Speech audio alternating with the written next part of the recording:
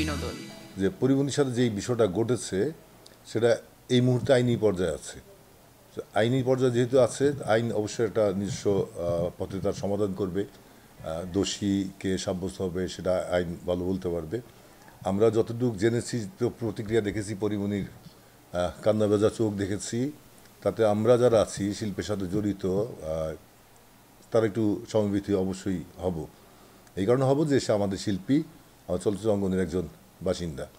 আর স্বাভাবিক কারণে যেই হোক পরিমণি হোক আর পরিমণি না, যদি অন্য কারও বেলায় হতো, আমার ব্যক্তিগত অভিমত থাকতো যে যদি সত্যিকার অর্থে তার সাথে এই ধরনের আচরণ ঘটে তার তীব্র নিন্দা জানানো এবং এটা প্রতিবাদ করা, আমি মৌন প্রতিবাদ করছি এই মুহূর্তে, যেহেতু আইনি বিষয়ে জটিলতা আছে, আইনের যেহেতু হাত ওইখানে পড়েছে, সেহেতু আমি সেটাকে ডিঙ্গিয়ে কথা বলতে পারব না। আমি প্রতিবাদটা যে ভাষায় করা উচিত ছিল সেই ভাষায় করছি না, কিন্তু মৌন প্রতিবাদ করছি। আর আমি জানি না কি ঘটেছে ওই দিন, কারণ এক একজনের এক এক মত, এক একজনের এক এক ধরনের কথাবার্তা। আর এটা স্বাভাবিক কারণে থাকবে যে আসলে ভিতরের ঘটনাটা আমরা সবাই পরিষ্কার না।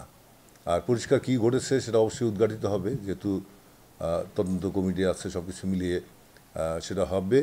কিন্তু আমি পরিচয় সমিতির পক্ষ থেকে বলতে চাই যে আসলে এটা কাম্য না। এই ধরনের ঘটনা সমাজে খুব বিরূপ প্রতিক্রিয়ার সৃষ্টি করে। আর যেহেতু শিল্পী সমাজ, আমাদের শিল্পীদের দিকে আসলে মানুষের দৃষ্টি থাকে। এই গ্লামার মিডিয়া যারা কাজ করে, তাদের প্রতি মানুষের চোখ থাকে। তাদের কাছে অনেক ভালো কিছু আশা করে মানুষ। তা আমি সেই বিষয়ে বলতে চাই যে গ্লামার মিডিয়ার দিকে চোখ থাকার কারণে বিষয়টা একটু বেশি আলোচিত হয়েছে। পরিমণি না হয়েও যদি সাধারণ কেউ হতো, বিষয়টায় হয়তো এতটা আলোচনা আসতো না। আর যেহেতু আমরা মিডিয়ায় কাজ করি মিডিয়া একটু হাইলাইটস করে মিডিয়া কর্মীরা। সমবেতি হয়, সমবেদনা জানায়, প্রতিবাদও করে।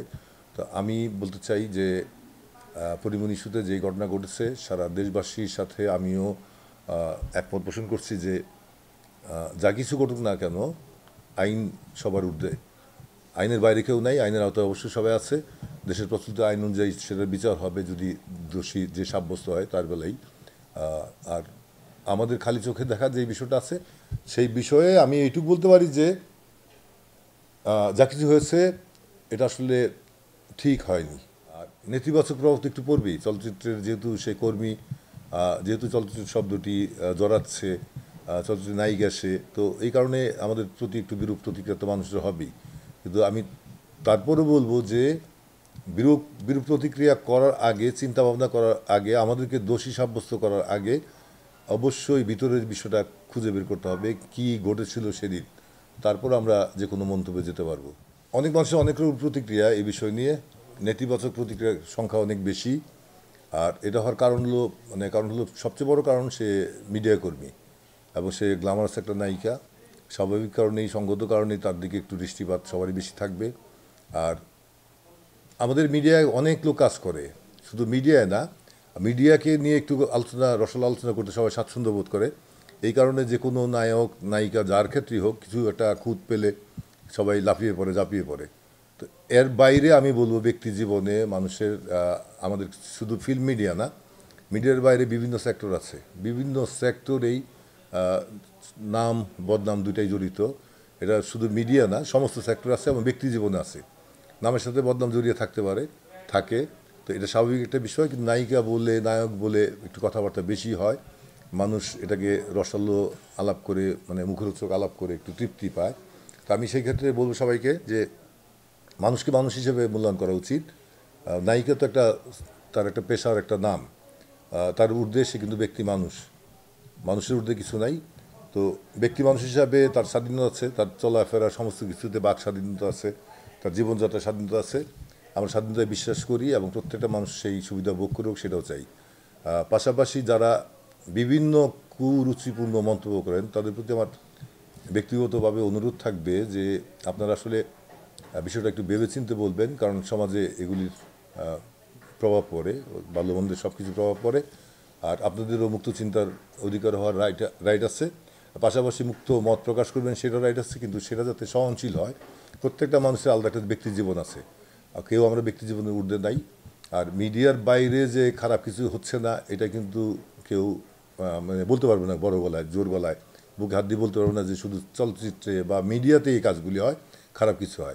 আর মিডিয়ার সম- সমস্ত লোককে দোষারোপ করেও লাভ নেই। এখানে আমাদের অনেক রতির মহারথী রয়েছেন, অনেক জ্ঞানী গুণী লোকজন রয়েছেন, অনেক ভালো ভালো শিল্পী রয়েছেন, কলাকুশলী রয়েছেন। তাদের প্রতি সম্মান রেখে কথা বলা উচিত। একজন দোষ করলে তার দায়ভার সমস্ত লোক বহন করবে না।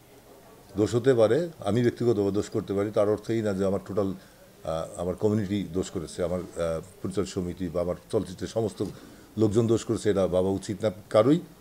ব্যক্তিগতভাবে দোষ ত্রুটি, ঊর্ধ্বে না মানুষ মানুষ দোষ দোষ করবে, দোষে গুণে মানুষ। আর যদি পরিমণির বেলায় এই বিষয়টা হয় যে পরিমণি দোষ করেছে, সেটা সে শুধরাবে, না শুধরাবে না তার ভবিষ্যতে সেটার ফল বহন করবে, সেই ভবিষ্যৎ দিকে তাকিয়ে আছে আমরা। আর মিডিয়া কর্মীদের তুচ্ছ তাচ্ছিল্য করার আগে আপনাদের ভাবতে হবে যে অনেকেই খুব বাজে ধরনের মন্তব্য করেন। নায়িকা মানেই এক ধরনের খুব বিশ্রী একটা শব্দ উচ্চারণ করেন। তা আমি বলতে চাই যে আমাদের দেশের নায়িকার সংখ্যা কিন্তু খুব কম। আজকে পাঁচ তারকা হোটেল থেকে আরম্ভ করে বিভিন্ন অলিগলির হোটেল থেকে আরম্ভ করে অনেকে কিন্তু ওইখানে যাতায়াত আছে, অনেক মেয়েদের যাতায়াত আছে। সেই মেয়েগুলো কিন্তু মিডিয়ার মেয়ে না। মানে চলচ্চিত্র বলি, টেলিভিশন মিডিয়া বলি। অনেকে যাতায়াত আছে, তারা কিন্তু মিডিয়ার না। অনেক পুরুষ যে, যেই পুরুষগুলো যায়, তারা কিন্তু মিডিয়ার না।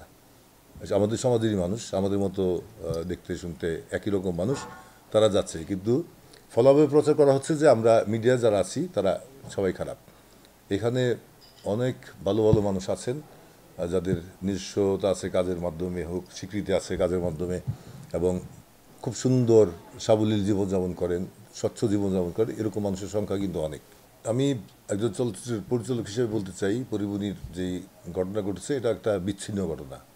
একটা মানুষের জীবনে উত্থান, পতন ঘাত প্রতিঘাত অনেক কিছু থাকতে পারে। আমি এটাকে বলব একটা দুর্ঘটনা হ্যাঁ? তো সেই হিসাবে বলব যে পরিবহনীর কেরিয়ারে এটার প্রভাব পড়বে কি না কেরিয়ার প্রভাব পড়ার মতো কোনো বিষয় না। এর চেয়ে অনেক নেতিবাচক ঘটনা অনেকের জীবনে ঘটেছে। তারা সেটা সার্ভাইভ করেছে। তো পরিমণিও আমি আশা করব যে তার শিল্পী সত্তা দিয়ে এই বিষয়টাকে উতরে তার যে ভবিষ্যৎ জীবন একটা উজ্জ্বল তোর জীবন যে চলচ্চিত্র নায়িকা হিসাবে সেই জায়গাটা সে দখল করতে পারবে উঠে উঠে যাবে সে। তো তার কারণে তাকে সাধনা করতে হবে, তার কারণে চেষ্টা করতে হবে এবং সিনেমার প্রতি মনোযোগিত হতে- হতে হবে। ব্যক্তি জীবনের বাইরেও কাজকে শ্রদ্ধা করতে হবে, সিনেমাকে ভালোবাসতে হবে এবং সুন্দর কাজ উপহার দেওয়ার যে মন মানসিকতা, সেটা তৈরি করতে হবে।